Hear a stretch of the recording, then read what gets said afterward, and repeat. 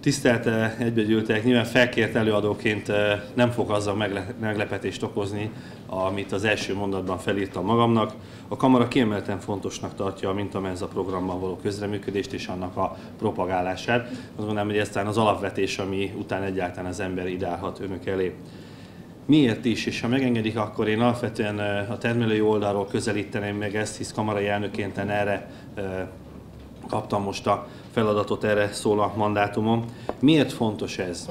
A közétkeztetés a termelői oldalról nézve ez egy nagyon stabil és kiszámítható felvevő piacnak számít, ami mind a kicsi, mind a közepes, mind a nagy termelőnek legyen az alapanyag előállító, vagy élelmiszeripari termelő, egy olyan biztos lehetőséget kínál piaci szereplés, piaci jelenlét fokozása vonatkozásában, ami legalábbis megfontolandó. Ugye a kamara felépítéséből adódóan a teljes agrárgazdaságot lefedi, hisz a termeléstől az élelmiszergazdaság más részeikig, a feldolgozásig, adott esetben még a nagykereskedelemig is felöleli ezt a termékpályát. Ilyen értelemben megvan az a lehetőség, amit nyilván mi rendelkezésre bocsájtunk, és ki is akarunk használni, hogy mozgósítunk, megpróbálunk minél több tagot bekapcsolni ebbe a programban. A kamarának van egy élelmiszeripari referens hálózata. Alapvetően ez azt jelenti, hogy minden megyében van egy erre a célra fenntartott szakszemélyzet, akinek alapvetően az a feladata, hogy ilyen típusú programokban részt vegyen, és a kamara szereplőinek, a kamara tagjainak a részére információt adjon, felhívja a figyelmét arra, hogy milyen lehetőségek vannak itt, milyen új piacok nyílnak meg, hisz ne felejtsük el, hadd utaljak vissza az előző mondatra, ez egy piac a termelői oldalról nézve. Az érdeklődés azt gondolom, hogy fokozatosan erősödik, már több mint száz kapcsolatfelvétel történt különböző potenciális beszállítókkal, és azt látjuk, hogy az érdeklődés az egy exponenciális pályán halad, úgyhogy nagyon reméljük, hogy az érdeklődés ezt a, ezt a pályát továbbra is tartani fogja. A közétkeztetés és nyilván a gyermekétkeztetés az senki számára nem érdektelen, mindenkinek fontos, családja van, rokonai vannak, ezért nagyon fontos, hogy milyen minőségben tudjuk ezeket a termékeket előállítani, milyen minőségű alapanyagból készülnek azok a termékek, amik aztán a, a gyermekek vagy egyéb más közétkeztetésben résztvevők. Én is hadd köszöntsek valakit. Farkas Zoltán képviselőtársunkat, Békés megyei közügyes elnökét akkor hadd köszöntsem, mert belépett az ajtón. És akkor vissza kanyarodva a mondani valóm gerincéhez. Tehát kiemelten fontosnak tartjuk, hogy ilyen érzékeny területen fokozatosan megjelenjenek a helyi termékek, és amennyiben van lehetőség a bioélelmiszerek egyaránt. A vidékfejlesztési politika, ami a 2014-es 20-as uniós költségvetésnek a, a, az idejét öleli át, az több szempontból is érinthet olyan részeket, a program különböző pontjait, ami érdekes lehet, ami kihasználható lehet. Múlt héten született egy kormánydöntés, úgyhogy nem is feltétlenül kívülről kell erről a programról beszélni, hisz a vidékfejlesztési programmal kapcsolatban minden, ami most lefordítom magyarra, a közös agrárpolitikából minden forrás, ami pályázható, tehát nem terület nagysághoz kötött, az a Nemzeti Agrárgazdasági Kamarán keresztül jut majd el felhasználókhoz, tehát mi leszünk a közreműködő szervezet, vagy egy terminus technikus mondjak. Ilyen értelemben mi leszünk azok, akik a források pályáztatásánál részt vállalunk. Az MVH-tól egy feladatoknak egy részét ilyen értelemben átvállaljuk, és nem megfeledkezve arról, hogy itt vannak alprogramok, amik különösen érintik ezt a területet. Itt a rövid ellátási láncot mindenképpen meg kell említsem.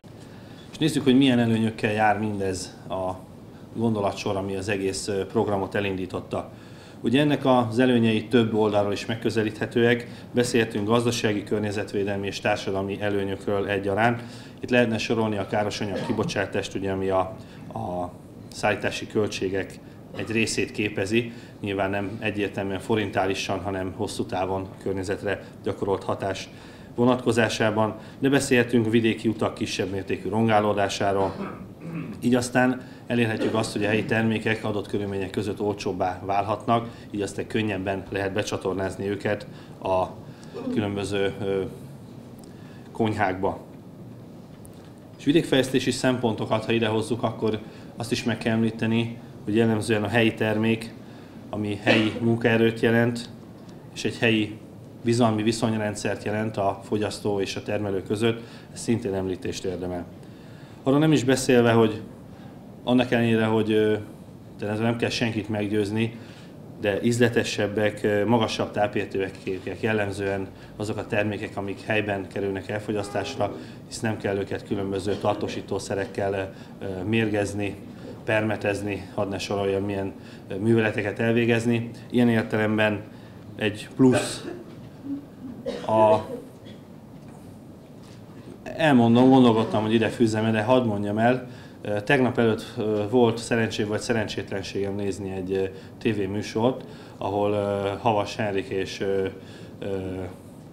Bokros volt miniszter úr beszélgettek egymással, ahol szépen haladtak azon gondolat mentén, hogy a lusta magyar paraszt helyett a szorgalmas holland, sváb, adott esetben bolgár kertészeknek kellene a magyar földi részét átadni, hogy példát mutassanak, és azt felhozták példaként, hogy mert mennyivel ügyesebben és mennyivel hatékonyabban gazdálkodnak.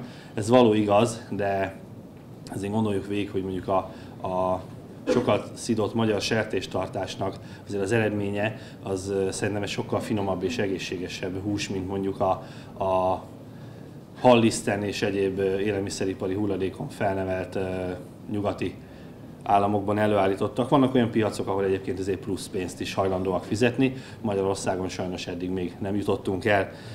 Tehát azt gondolom, hogy az íz, a beltartalmi érték az mindenképpen egy fontos szempont kell legyen, és ez egyfajta szemléletformálás is a gyerekek fele, hogy amikor majd kilép az iskola kapuján, és a nagy betűs életben is elkezdi az életét, akkor amikor már saját maga veszi le a polcra a terméket, akkor legyenek ezek, a, ezek az impulzusok benne a gondolatvilágában. Új egészséges alapanyagok és új ízek is megjelenhetnének, amik igazából talán nem is annyira újak, csak inkább üldözöttek, nem igazán használtak voltak. De a vadhúst feltétlenül fel kell sorolni. Zsírtartalma, magas fehérje, rost, vitamin és ásványanyag tartalma az megkérdőjelezhetetlen, az egyik legegészségesebb hús. Mondom ezt úgy is, mint vadászember, tehát a mi hűtőnk is rendszeresen terhelve van különböző vatusokkal, és szívesen fogyasztjuk is azokat. És ha már szóba hoztuk a vadat, akkor annak a, akár a Velszi bárdokból vett párját, a halat is hadd hozzuk ide, hisz legalább ennyire fontos, meg hát itt van most meg Békés megyek közülés elnöke, aki meg nyilván meg is haragudna, hogyha a halat nem hoznám elő ezen a fórumon. De nem, nem csak azért kell szóba hozni, mert ő itt van, hanem azért, mert önmagában is indokoltá teszi, hisz 15-20%-nyi teljes értékű fehérjét tartalmaz egy laza szerkezetű húsfajta. Itt egy dolgot feltétlenül meg kell említeni, ez viszont úgy gondolom a mai technikai körülmények között már nem lehet probléma. A gyerekek számára a szákamentességet feltétlenül biztosítani kell, hogy egy biztonságos élelmiszer legyen, ne csak finom. Azt is látni kell, hogy az egy főre jutó vathús és halfogyasztás Magyarországon rendkívül alacsony. A hal esetében egy óvatos emelkedésnek szemtanúi lehetünk az elmúlt időszakban, de ez korán sem éri még el azt a szintet, ami üdvözítő lenne. A magyar húsfogyasztás 70 kg évente, ennek egy nagyon kicsi hányadát teszi ki a hal és a vad. Ez akkor lehet sikeres ez a program, hogyha egy élet, egy szemléletformáló programot is kampányt is indítunk, ami nem csak az étkezésre, hanem a teljes életmódra is hatással van. Fontos, hogy tudatos felnőtteket tudjunk ezáltal nevelni, óvatosan bánok ezzel a szóval, de mégis ez a helyén való megfogalmazás. Alapvetően a közétkeztetés minőségének a javítása az az alapanyag beszerzéssel kell, hogy induljon, hisz az alapanyag önmagában meghatározza, hogy mi az, amit az adott termékhalmazból ki lehet hozni. Szerencsére az országban számos olyan példával találkozhatunk, ami pozitív visszacsatolást jelent. Azonban azt is fontos lesz tudatosítani, nem csak a gyerekekkel, hanem a szüleikkel is, hogy az iskolában a konyha, az iskolai konyha keretein belül az étkezésnek nincs vége. Tehát itt fontos volna a szülők becsatornázása ebbe a rendszerben, hogy a, az ételeket, azokat ismertessék meg a gyerekekkel, próbálják meg az otthoni kulináris élményeket is szélesebb skálán a gyerekek rendelkezésére bocsájtani, hisz nem elég egészséges étkezést biztosítani a gyerekeknek, azt gondolom alapvetés, hogy annak finomnak és tetszetősnek, magát kínálónak kell lenni, máskülönben az a fele lehet, hogy valami teljesen más zacskós termékkel fogja az éjségét csillapítani, ami feltétlenül a kevésbé preferált sorba tartozik.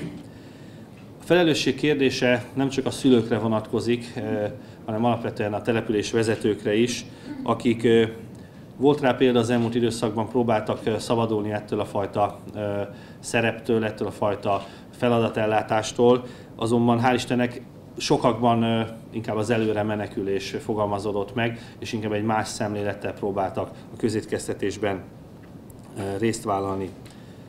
Fontos, hogy a gazdákat tudjuk szervezni, tudjuk erősíteni az ő szövetkezeteiket, hogy tudjanak bekapcsolódni, hisz nagyon sok esetben volumen is szükséges a minőség mellé, és itt ugye a közepes nagyobb cégek ilyen szempontból előnyben vannak, itt a kicsiket a szövetkezeti rendszeren belül valamilyen fajta integrációban tudjuk a rendszerbe bekapcsolni. És hát záró gondolatként a vidéki életre gyakorolt hatásról is hadd ejtsek néhány szót hisz a népesség megtartó elő az, hogy valaki a munkájából meg tud élni helyben, azt tudja értékesíteni, kiszámítható, hosszú távú perspektívát lát maga előtt, a végzett munkájának értelme van, nem csak erkölcsi, hanem anyagi értelemben is. Ez nyilván egy, egy olyan példa, egy olyan életpálya lehet a helyben gazdálkodóknak, ami adott esetben a következő generációt is tevékenység folytatására sarkalja.